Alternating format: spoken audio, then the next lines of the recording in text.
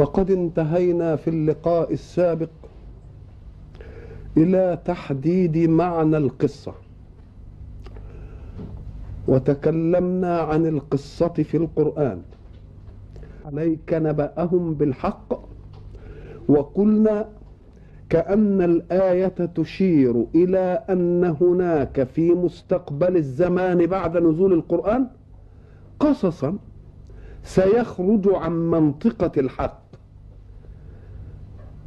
ليؤرخ لأشياء فيها تزيد على الواقع للحبكة وللعقدة أو للطرافة أو للاستمالة وفيه تخيل لما يستقبل وتوهم لأحداث قد توضع لها عقد وتوضع لها الحلول. فكأن قول الله نحن نقص عليك نبأهم بالحق عزل للقصة القرآنية عن أي معنى قصصي يأتي به العصر.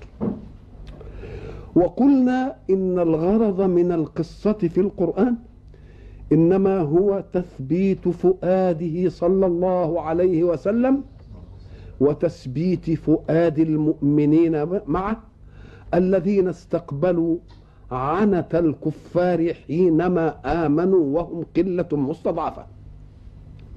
وقلنا أيضا إن القصص حين يكون من المنزل إلى المنزل إليه يأتي ليثبت الأفئدة الإيمانية. ولذلك يتكرر على قدر تقلب هذه الأفئدة وعلى قدر ما ينالها من عنة يتطلب كل يوم تثبيتا جديدا. فلو نزلت القصة للغرض التاريخي لوقع التثبيت مرة واحدة ولجاءت الحركة الاضطرابية التي يتعرض لها المؤمنون بلا تثبيت جديد لهم. ولكن القصة حين تكون مطلوبة من المنزل إليه فإن الحق سبحانه وتعالى يأتي بالقصة كاملة بكل لقطاتها وبكل عقدها وبكل حلولها في موضع واحد من القرآن كقصة يوسف لأنها هي التي طلبت. إذا ففرق بين قصص يطلب الله وهو المنزل إعلام خلقه به ليثبت به الأفئدة. هنا التكرار. ولكن قصة طلبت من المنزل إليه فإن المنزل يجيء بها. لماذا يجيء بها مرة واحدة؟ لأنه لو جاء بها على لقطات لقيل إن الرسول يجيء من عنده فحينما أعرف كل لقطة يأتي لنا بها. ولكن ما داموا قد سألوا قصة يوسف مثلا فإن القرآن قد جاء بها قصة جامعة مانعة ولم تتكرر في القرآن. وقلنا إن التكرار في القرآن كل قصة جاءت إنما جاءت لتغطي لقطة في القصة.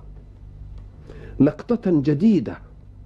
وإن كان الإطار العام في القصة يكون تكرارا. فقصة آدم مثلا التي نحن بصددها. جاءت أول سورة في القرآن لتتعرض إلى أول خلق الإنسان. منطق طبيعي أن تكون أول سورة ترتيبية في القرآن تتكلم عن أول مخلوق للإنسان. تتكلم عنه كإنسان تتكلم عنه بشر تتكلم عنه باسمه وهو آدم تتكلم عنه بالمادة التي خلق منها تتكلم عنه بالبلاغ الذي نزل فيه قبل أن يخلق تتعلق به من نقاش الملائكة لله فيما أخبرهم به من, من أنه سيجعل في الأرض خليفة تتعلق به في كيف علم الأسماء ليسوس حركة الحياة على منطق من علم الأشياء وعلم مسمياتها تتكلم عن الحوار الذي جاء من إبليس أمام ربه حينما أبى من السجود؟ تتكلم عن علة الامتناع عن السجود؟ تتكلم عن خطة إبليس في كيف يز... في كيف يدخل على قلوب المؤمنين بالإغواء والاستهواء؟ خطته إيه؟ ما هو منهجه في هذا؟ إذا فهناك أشياء كثيرة تتعرض لها القصة الأصيلة في آدم. فلو أن إنسانا يريد أن يؤرخ لآدم كقصة لابد أن يستوعب كل هذه اللقطات. ولكن الله جعل في كل لقطة في القصة موسما من التثبيت.